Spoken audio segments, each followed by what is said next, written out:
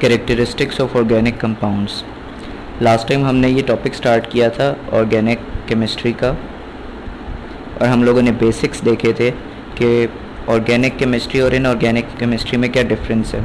Organic chemistry में हम hydrocarbons यो हाइड्रोजन और कार्बन के कंपाउंड्स होते हैं, इनको स्टडी करते हैं और साथ में इनके डेरिवेटिव्स जो हैं डेरिवेटिव्स में हमारे पास ऑक्सीजन नाइट्रोजन वगैरह साथ एज एन एलिमेंट ऐड हो जाता है इन हाइड्रोकार्बन्स के अंदर।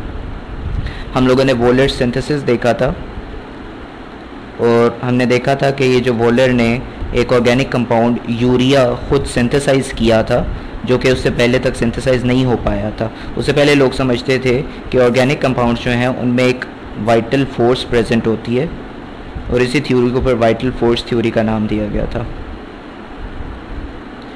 वोलर के सिंथेसिस की वजह से वाइटल फोर्स थ्योरी जो थी, ये रिजेक्ट हो गई थी। और उसके बाद ऑर्गेनिक केमिस्ट्री की बेसिक्स स्टार्ट हुई थी। अब ऑर्गेनिक कंपाउंड्स को खुद सिंथेसाइज किया जाता था। आज इस लेक्चर के अंदर हम लोग ऑर्गेनिक कंपाउंड्स जो हैं, उनके करेक्टरिस्टिक्स डिस्कस करेंगे ऑर्गेनिक कंपाउंड्स के।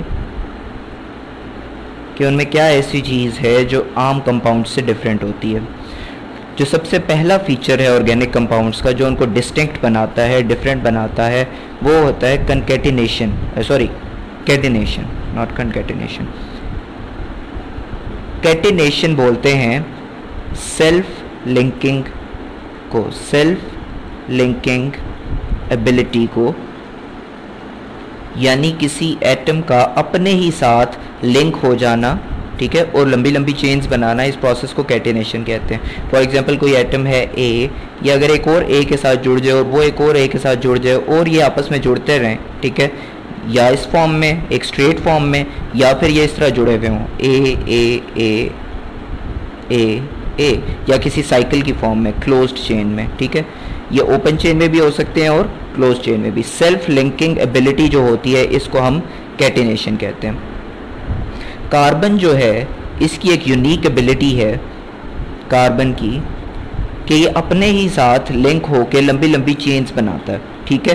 कैटिनेशन जो है, वो किन चीज़ों पे डिपेंड करती है? सॉरी कैटिनेशन किन चीज़ों पे डिपेंड करती है? कैटिनेशन तीन फैक्टर्स के ऊपर डिपेंड करती है। सबसे जो पहला और इंपॉर्टेंट फैक्टर है, वो है bond energy bond energy bond energy किस चीज़ के साथ? मसलन अगर आप कार्बन की बात कर रहे हो तो कार्बन की कार्बन के साथ जो बॉन्ड एनर्जी है बॉन्ड एनर्जी वो एनर्जी होती है कि इस बॉन्ड को तोड़ने में जितनी आपको एनर्जी रिक्वायर्ड होगी।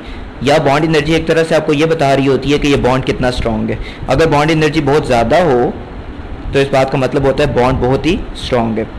High bond energy strong bond ठीक है? तो जितनी बॉन्ड एनर्जी आपस में ज़्यादा होती है किसी कंपाउंड की, उतनी कनकेटिनेशन ईजी होती है। सॉरी कैटिनेशन ईजी होती है। मसलन अगर इस कंपाउंड की ए ए ए और इसी तरह एक और कंपाउंड अगर कंसिडर करो बी बी बी बी और इसकी बॉन्ड एनर्जी अगर 500 है बी की, और ए की बॉन्ड एनर्जी अगर 1500 है किलो जाउल्स पर मोल तो कौन सा कंपाउंड ज़्यादा स्टेबल होगा? या कौन सा कंपाउंड ऐसा होगा जो बहुत इजीली बॉन्ड बनाएगा या कैटिनेट होगा, वो नीचे वाला है, क्योंकि इसकी बॉन्ड एनर्जी बहुत ज़्यादा है तो ये बहुत ही स्टेबल फॉर्म में एग्जिस्ट कर सकता है लंबी चेन्स की फॉर्म में। तो हाई बॉन्ड एनर्जी पहला फैक्टर है जिसके ऊपर कैटिनेशन बेस कर रही होती है। उसके अलावा कुछ स्टीयरिक इफेक्ट्स होते हैं, या थ्री स्ट्रक्चर के इफेक्ट्स होते हैं। थ्री स्ट्रक्चर के, जिसमें हम हाइब्रिडाइजेशन डिस्कस करते हैं। वो इस चैप्टर में हम लेटर ऑन डिस्कस करेंगे तो आपको समझ आ जाएगा। और एक तीसरा फैक्टर होता है इलेक्ट्रोनेगेटिविटी इलेक्ट्रोनेगेटिविटी आप पहले पढ़ चुके हो। इलेक्ट्रोनेगेटिविटी वो फोर्स होती है जिससे कोई न्यूक्लियस जो होता है, वो इस लोन पेयर को अपनी, इस बॉन्ड पेयर को अपनी तरफ़ खींचता है। ठीक है? तो सबसे जो मेजर है, इसमें बॉन्ड एनर्जी वाला ही है। ये बाकी आपको आहिस्ता आहिस्ता आने वाले लेक्चर्स के अंदर क्लियर हो जाएगा इलेक्ट्रोनेगेटिविटी और स्टेरिक इफेक्ट्स का क्या रोल होता है कैटिनेशन के अंदर। कैटिनेशन जो है, एक इंटरेस्टिंग आपको बात बताऊँ कि आप शायद ये समझ लोगे कैटिनेशन सिर्फ़ कार्बन के अंदर होती है, ठीक है? क्योंकि कार्बन ऑर्गेनिक कंपाउंड्स बनाता है, लंबी लंबी चेन्स बनाता है। कैटिनेशन का जो कंसेप्ट है, ये सिर्फ़ कार्बन तक लिमिटेड नहीं है। कैटिनेशन और भी बहुत सारे एलिमेंट्स के अंदर होती है। For example if you talk about sulphur तो आपको पता है सल्फ़र किस फॉर्म में एग्जिस्ट करता है? आप पहले एक चैप्टर में पढ़ चुके हो सल्फ़र के बारे में। सल्फ़र के, वैसे तो तीन एलोट्रॉप्स हैं ना? Rhombic sulphur monoclinic sulphur and plastic sulphur आप ये चीज़ पढ़ चुके हो, और आप पढ़ चुके हो कि एक डिफरेंट टेम्परेचर्स के ऊपर ये तीनों एलोट्रॉप्स सल्फ़र के एग्जिस्ट करते हैं। लेकिन एक चीज़ तो कंफर्म है कि इन ऊपर वाले दो के अंदर एस एट की फॉर्म में क्रिस्टलाइन स्ट्रक्चर होता है, ठीक है? एंड एस एट मीन्स आठ सर्कल सल्फर्स जो होते हैं sulphur sulphur sulphur one two three four five six seven and eight you आठ सर्कल जो हैं, ये एक रिंग की फॉर्म में एग्जिस्ट करते हैं और ये सल्फ़र का स्ट्रक्चर होता है। अब ये देखो, इसमें भी तो सल्फ़र आपस में लिंक हुआ हुआ है ना? तो सल्फ़र जब इसमें आपस में लिंक हो रहा है तो यही तो हमने कहा था, इसी को तो सॉरी कैटिनेशन बोलते हैं। तो कैटिनेशन सल्फ़र में भी होती है, ठीक है?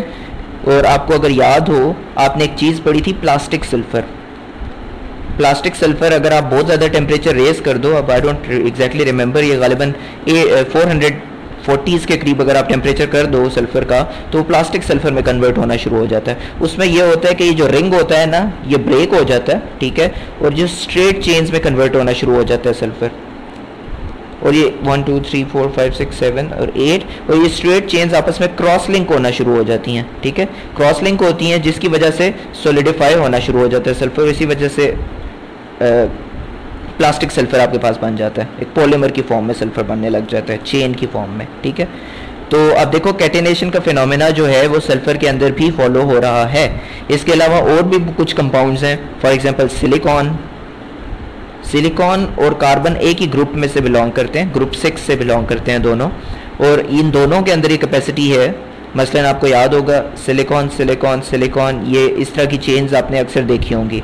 या आपको अगर सिलिका का स्ट्रक्चर याद हो तो उसमें भी सिलिकॉन डाइऑक्साइड यूँ एक कोवलेंट स्ट्रक्चर में बड़ी चेन की फॉर्म में होता है। सो so बेसिकली इसके अंदर भी एक चेन की फॉर्म में लॉन्ग चेन्स में सिलिका एग्जिस्ट करता है। जिस आपके पास कार्बन की चेन्स होती है ना कार्बन कार्बन कार्बन कार्बन और हर कार्बन के चार चार बॉन्ड्स पूरे हुए होते हैं, बाकी सारे हाइड्रोजन्स लग गए होते हैं, ठीक है? तो ऐसे कंपाउंड को हम क्या बोलते हैं? अल्केन बोलते हैं ना, ठीक है? इसी तरह अगर आप सिलिकेन का यही स्ट्रक्चर बनाओ और सिलिकॉन के सारे बॉन्ड्स पूरे कर दो बिकॉज़ सिलिकॉन भी चार ही बॉन्ड बनाता है तो ये आपके पास सिलियंस बन जाते हैं, ठीक है? सिलियंस इसी तरह आपके पास सिलीन्स होती हैं सिलियाइंस होती हैं जिस तरह अल्कीन्स और अल्काइंस होती हैं, ठीक है? लेकिन सिलिका के जो इस सिलिकन, सिलिकॉन की जो चेन्स बनती है ना, उनमें एक प्रॉब्लम है कि अगर आप बहुत ही लॉन्ग चेन की बात कर रहे हो ना, लॉन्ग चेन यानी अगर आठ या आठ से ज़्यादा आपके पास अगर हो जाएँ सिलिकॉन्स आपस में जुड़े हुए तो जो स्ट्रक्चर है, वो थर्मली अनस्टेबल हो जाता है, अनस्टेबल। यानी वो अगर आप उसको हीट करोगे तो फ़ौरन ब्रेकअप हो जाता है। तो इस वजह से बहुत लंबी चेन्स एग्जिस्ट नहीं करती सिलिकॉन की, लेकिन जो छोटी मोटी चेन्स हैं, ये एग्जिस्ट करती हैं। यहाँ तक आपको क्लियर हो गया कैटिनेशन में। इसके अलावा आपने फॉस्फोरस के बगैर, अब फॉस्फोरस के बारे में भी सुना हुआ होगा। फॉस्फोरस की चेन्स होती हैं, ठीक है? लेकिन ये चेन्स बहुत ही सॉफ्ट होती हैं और ये फ़ौरन ब्रेकअप हो जाती हैं। इसके अलावा और भी बहुत सारे कंपाउंड्स हैं जिनमें कैटिनेशन का फिनोमिना होता है। लेकिन सिर्फ़ कैटिनेशन का फिनोमिना होना इंपॉर्टेंट नहीं है। कैटिनेशन स्टेबल होना इज़ इंपॉर्टेंट कार्बन पूरे पीरियोडिक टेबल का, पूरा पीरियोडिक टेबल जितना भी आपके पास जैसी भी शेप है पीरियोडिक टेबल की, वाहिद एलिमेंट है जो सबसे ज़्यादा स्टेबल फॉर्म में चेंज बनाता है। इसकी वजह यह है कि जो इसका ओवरलैप होता है ना दो कार्बन एटम्स का, जब कार्बन कार्बन आपस में बॉन्ड बनता है, ये एक सिग्मा बॉन्ड होता है। ठीक है? हम सिग्मा और बॉन्ड पाई बॉन्ड्स को डिटेल में अभी आने वाले लेक्चर्स के अंदर डिस्कस करेंगे। ये बॉन्ड्स की दो टाइप्स होती हैं। कोवलेंट बॉन्ड्स या तो सिग्मा होते हैं या पाए होते हैं। सिग्मा बॉन्ड बहुत ही स्ट्रांग होता है, ठीक है? और पाए बॉन्ड वीक होता है। ये वीक होता है और ये स्ट्रॉन्ग बॉन्ड होता है। और ये चूँकि कार्बन और कार्बन का सिग्मा बॉन्ड होता है, ये बहुत ही स्ट्रॉन्ग बॉन्ड होता है। इस वजह से कार्बन की चेन्स बहुत ही स्टेबल होती हैं। थर्मली भी स्टेबल होती हैं और वैसे भी स्टेबल होती हैं केमिकली भी।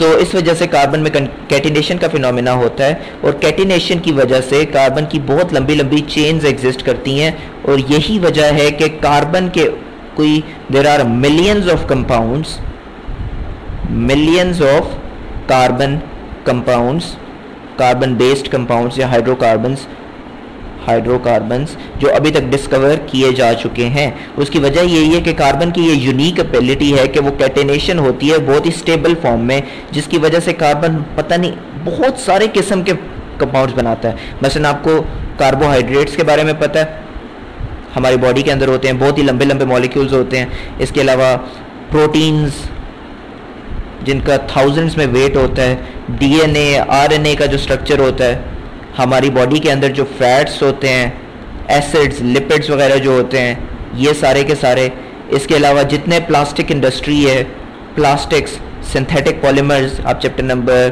14 के अंदर मैक्रो मॉलिक्यूल्स का चैप्टर इसमें आप डिटेल में डिस्कस करोगे कि कैटिनेशन की वजह से कार्बन कितने बड़े बड़े मॉलिक्यूल्स बना देता है, ठीक है? तो ये तमाम जो हैं, ये सारे के सारे कैटिनेशन के फिनोमिना के ऊपर बेस कर रहे हैं। और कैटिनेशन का फिनोमिना अगर ना होता तो इनमें से कोई भी कंपाउंड एग्जिस्ट ना करता होता। तो ये कार्बन की ऑर्गेनिक कंपाउंड्स की एक यूनिक एबिलिटी होती है। दूसरी जो यूनिक एबिलिटी है कैटिनेशन आपने देख ली।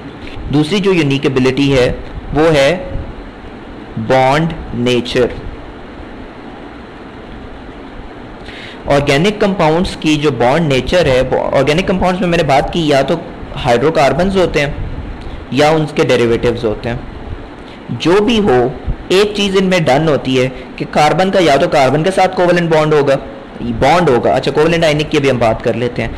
या कार्बन का हाइड्रोजन के साथ होगा, या कार्बन का ऑक्सीजन के साथ होगा, यूँ कार्बन नॉर्मली ऑक्सीजन के साथ डबल बॉन्ड बनाता है। या कार्बन का सिंगल ऑक्सीजन बॉन्ड होगा ओ एच के साथ नॉर्मली बॉन्ड हुआ हुआ होता है। इस तरह के कुछ बॉन्ड्स होंगे। या ऑक्सीजन का हाइड्रोजन के साथ यूँ करके बॉन्ड होगा। इन तमाम बॉन्ड की अगर आप नेचर के ऊपर गौर करो, इसमें कार्बन और कार्बन की इलेक्ट्रोनेगेटिविटी दोनों की कार्बन की 2.6 होती है, इसकी भी 2.6 है। तो कितना इलेक्ट्रोनेगेटिविटी का डिफरेंस है? नो no डिफरेंस तो इसका मतलब है कि ये बॉन्ड आइनिक तो हो ही नहीं सकता। मैं आपको एक दफ़ा फिर से रिकॉल करवा दूँ। आइनिक बॉन्ड्स वो होते हैं जिनमें जो इलेक्ट्रोनेगेटिविटी का दोनों एलिमेंट्स का डिफरेंस होता है, वो 1.6 से ज़्यादा होता है या 1.7 से ज़्यादा होता है। अब कार्बन और हाइड्रोजन की अगर आप बात करो 2.6 एंड 2.1 इनका भी डिफरेंस 0.4 का ठीक है? इसका डिफरेंस ज़ीरो था। और कार्बन और ऑक्सीजन का भी डिफरेंस कोई इतना ख़ास नहीं होता। कार्बन और सिंपल ऑक्सीजन ऑक्सीजन और हाइड्रोजन का भी इतना ख़ास नहीं होता। ओवरऑल ये सारे के सारे जो बॉन्ड्स हैं, ये कोवलेंट बॉन्ड्स होते हैं। ठीक है? तो ये चीज़ आपको बिल्कुल क्लियर होनी चाहिए कि जितने भी आप ऑर्गेनिक कंपाउंड्स पढ़ते हो ऑर्गेनिक कंपाउंड्स ये तमाम के तमाम जो हैं, ये कोवलेंट बॉन्ड्स के ऊपर बेस्ड होते हैं। और एक सिंगल कोवलेंट बॉन्ड को हम एक स्ट्रेट लाइन से रिप्रेजेंट करते हैं। जैसे आप, ये मैं नीचे लाइन्स लगा रहा था ना, ये सिंगल लाइन सिंगल लाइन ये आपके पास दो लाइन्स हैं, ये डबल कोवलेंट बॉन्ड है, और ये आपके पास अगेन सिंगल कोवलेंट बॉन्ड है। तो इन सारों में कोवलेंट बॉन्ड्स होते हैं आयनिक बॉन्ड्स नहीं होते। ठीक है तो ये एक बात आपको पता होनी चाहिए ऑर्गेनिक कंपाउंड्स के हवाले से। तीसरी जो प्रॉपर्टी है या फीचर है ऑर्गेनिक कंपाउंड्स का वो है सिमिलैरिटी इन बिहेवियर ये जो ऑर्गेनिक uh, कंपाउंड्स की प्रॉपर्टी है ना ये ये है कि अगर आपके पास कार्बन कार्बन कार्बन और यहाँ पे अगर मैं एक क्लोरीन लगा दूँ ठीक है? अच्छा ये बाकी सारे हाइड्रोजन्स लगे हुए होंगे इसके साथ। ये मैंने कार्बन की चेन बनाई है, उसके साइड पे एक क्लोरीन लगा दी है। इसी तरह ये तीन कार्बन की चेन है साइड पे एक क्लोरीन लगा हुआ है। अगर आप चार कार्बन की चेन ले लो, फिर साइड पे क्लोरीन लगा दो। पाँच कार्बन की चेन ले लो, फिर क्लोरीन लगाओ। जो मर्ज़ी लगाओ, ये आपके पास मुख्तलिफ़ कंपाउंड्स बनते जाएँगे और इन तमाम के तमाम को हम बोलते हैं अल्काइल हेलाइड्स जो कि बेसिकली चैप्टर नंबर टेन जो है आपका, उसका नाम भी यही है अल्काइल हेलाइड्स उसमें आप डिटेल में डिस्कस करेंगे अल्काइल हेलाइड्स को। अल्काइल हेलाइड्स की ये प्रॉपर्टीज़ होती हैं कि ये तमाम आपस में मिलते जुलते हैं। इसी तरह अगर आप कोई ऐसा कार्बन की चेन ले रहे हो, जिसमें दो ऐसे कार्बन हैं जिनके दरमियान डबल बॉन्ड एग्जिस्ट करता है तो ऐसे कंपाउंड्स को हम फिर अल्कीन्स बोलते हैं। ठीक है? आपके पास अगर कार्बन का कार्बन के साथ ट्रिपल बॉन्ड हो किसी कंपाउंड के अंदर, किसी ऑर्गेनिक कंपाउंड के अंदर तो ऐसे कंपाउंड्स को हम अल्काइंस बोलते हैं। और इसके अलावा भी बहुत सारे हैं। अगर आपके पास कोई भी कार्बन की चेन है, वो जैसी मर्ज़ी चेन हो, सीधी हो, टेढ़ी हो, जैसी मर्ज़ी हो, अगर उस पर कहीं पे ओ OH लगा हुआ है, जिसको हम हाइड्रोक्सिल ग्रुप कहते हैं हाइड्रोक्सिल ग्रुप तो ये जो कंपाउंड बन जाता है, इसको फिर हम अल्कोहल कहते हैं। ठीक है, ये पूरा कंपाउंड अभी एक अल्कोहल कहलाएगा। अगर कोई कम, दो कार्बन ऐसे हैं जिनके दरमियान ऑक्सीजन का एटम हो तो ऐसे कंपाउंड्स को हम फिर ईथर कहते हैं ठीक है? बाकी जो मर्ज़ी लगा वो। अगर दो कार्बन के दरमियान यूँ करके सी डबल बॉन्ड ओ लगा हुआ हो ठीक है? तो ऐसे कंपाउंड्स को हम कीटोन्स बोलते हैं ठीक है? इसके अलावा अगर आपके पास C double bond O O H हो किसी कंपाउंड के कॉर्नर पे लगा हुआ तो ऐसे कंपाउंड्स को हम कार्बोक्सिलिक एसिड्स बोलते हैं। अब देखो मैंने आपको ढेर सारे नाम बता दिए। ओवरऑल ऑर्गेनिक केमिस्ट्री जो है ना, वो नाम है इन चीज़ों का मसलन अल्कोहल्स आपके एक चैप्टर का नाम है कार्बोक्सिलिक एसिड्स आपके एक चैप्टर का नाम है अल्डिहाइड्स एंड कीटोन्स आपके एक चैप्टर का नाम है, ठीक है? अल्कोहल्स फिनोल्स ईथर ये एक ही चैप्टर था आपका। और इसके अलावा ये जो ऊपर अल्केन्स अल्कीन्स अल्काइंस ये पूरा एक चैप्टर का नाम है। तो ओवरऑल जो ऑर्गेनिक केमिस्ट्री है ना, वो इन्हीं चीज़ों के ऊपर डिपेंड करती है कि जितने भी ऑर्गेनिक कंपाउंड्स हैं वो या तो इनमें से कोई ना कोई उनके अंदर फीचर होता है। या तो वो डबल बॉन्ड्स होंगे उनके अंदर, ठीक है? या उनके अंदर ओ OH होगा और जिन जिन के अंदर फिर ओ OH होगा, वो तमाम फिर एक ही तरह से बिहेव करते हैं, ठीक है? या अगर किसी के अंदर सी डबल ओ एच है तो वो तमाम किसी एक ही तरीके से बिहेव करते हैं। मैं आपको एग्ज़ाम्पल देता हूँ। कोई भी ऐसा ऑर्गेनिक कंपाउंड अब there are actually thousands of compounds thousands of organic compounds जिनके अंदर सी डबल ओ एच आता है। सी डबल ओ एच ठीक है? इन तमाम कंपाउंड्स को हमने नाम दे दिया है कार्बोक्सिलिक एसिड्स का। इसकी वजह यह है कि ये जब अगर आप किसी बेस के साथ इसका रिएक्शन करवाओ ना, इस सी डब्ल्यू एच वाले कंपाउंड का तो ये एक सॉल्ट और वाटर फॉर्म कर देते हैं। जिसे आपने neutralisation reaction acid base reactions में देखा था ना, ये बिल्कुल वही हो जाता है। तो हमने इनको कार्बोक्सिलिक एसिड्स नाम दे दिए। अब इसमें आपके पास सी डब्ल्यू एच के साथ हो सकता है सिंपल एक कार्बन लगा होता या एक भी कार्बन ना होता, या हो सकता है सिंपल एक कार्बन लगा हुआ होता, या हो सकता है दो कार्बन की चेन होती या तीन की चेन होती। अगर एक भी ना होता तो फिर हम इसको कहते हैं मेथेनोइक एसिड अगर आपके पास एक कार्बन लगा है तो फिर एथेनोइक अदरवाइज़ प्रोपेनोइक नहीं तो butanoic pentanoic hexanoic and so on आपके पास एक पूरी होमोलोगस सीरीज़ बन जाती है। होमोलोगस सीरीज़, आप इस पूरी सीरीज़ को बोलते हो, जिसमें मुख्तलिफ़ आपके पास कंपाउंड्स आ रहे होते हैं। मसलन आपके पास अल्केन्स की एक होमोलोगस सीरीज़ होती है, ठीक है? अल्कीन्स की एक सीरीज़ है पूरी। अल्काइंस की एक सीरीज़ है पूरी। अल्कोहल्स की एक पूरी सीरीज़ है। अल्डिहाइड्स की एक सीरीज़ है, ठीक है? कार्बोक्सिलिक एसिड्स की सीरीज़ है ईथर्स की सीरीज़ है एंड सो ऑन ये आपके पास मुख्तलिफ़ फंक्शनल ग्रुप्स हैं, इनकी मुख्तलिफ़ सीरीज़ हैं। अल्केन्स की सीरीज़ की अगर मैं बात करूँ तो इस सीरीज़ में पहला एलिमेंट होता है मैथेन उसके बाद एथेन उसके बाद प्रोपेन ये मैं आपको थोड़ा सा रिवाइज करवा रहा हूँ, ये आप अपने बचपन में इस तरह की चीज़ें मैट्रिक वगैरह में पढ़ चुके हो, ठीक है? कि ये carbon number of carbon items जो जो इंक्रीज होते हैं एंड सो ऑन ये चलता रहता है। इसी तरह ईथीन एंड देन प्रोपीन, इनके इन पे ईन आ रहा होता है, ये सब एक जैसे होते हैं, ठीक है? इनकी प्रॉपर्टीज़ मिलती जुलती होती हैं। अल्काइंस में ethyne propyne and so on alcohols में methanol ethanol propanol and so on aldehydes में methanal ethanal and so on इनको नाम आपने कैसे देना है? या आप जो रिस्पेक्टिव चैप्टर्स हैं ना, मसलन अल्कोहल्स का जो चैप्टर है, उसमें आप सीखोगे कि अल्कोहल्स को कैसे नाम देते हैं अल्डिहाइड्स के चैप्टर और कार्बोक्सिलिक एसिड्स के चैप्टर में आप इनका सीख लोगे। तो इसी तरह मैथेनोइक एसिड इसी तरह ethanoic acid propanoic acid butanoic acid आपको बेसिकली ये याद होना चाहिए, अगर सिंगल कार्बन हो तो मैथ अगर दो कार्बन हो तो ईथ तीन कार्बन हो तो प्रोप चार कार्बन हो तो ब्यूट पाँच कार्बन हो तो पेंट छः कार्बन हो तो हेग्स सेवन कार्बन के लिए हेप्ट एट कार्बन के लिए ऑक्ट नौ कार्बन के लिए नॉन एंड दस के लिए डेक का यूज़ होता है। अगर आप बहुत डिटेल में देखना चाहते हो कि इससे नेक्स्ट वालों के लिए क्या यूज़ होता है तो आप चैप्टर नंबर एट के अंदर जो फ़र्स्ट लेक्चर है उसके अंदर आप डिटेल के अंदर ये पढ़ोगे। चैप्टर नंबर एट का जो पहला लेक्चर है कि किस तरीके से आप स्ट्रेट चेन हाइड्रोकार्बन को नाम देते हो। तो आई होप आपको अब क्लियर हो गया होगा कि सिमिलरिटी इन बिहेवियर क्या चीज़ है। कि ऑर्गेनिक कंपाउंड्स के अंदर कुछ मखसूस ऐसे ग्रुप्स होते हैं जो लगे हुए होते हैं, जिसकी वजह से इनकी बिहेवियर जो होता है वो सिमिलर होता है और आप बहुत सारी होमोलोगस सीरीज़ इस बेसिस पे बना देते हो। This is it for this lecture हम इसे नेक्स्ट लेक्चर में यहीं से आगे स्टार्ट करेंगे कैरेक्टरिस्टिक से डिस्कस करेंगे। हमारे तीन करेक्टरिस्टिक्स अभी चार करेक्टरिस्टिक्स और रहते हैं, वो हम इसे नेक्स्ट लेक्चर के अंदर डिस्कस करेंगे।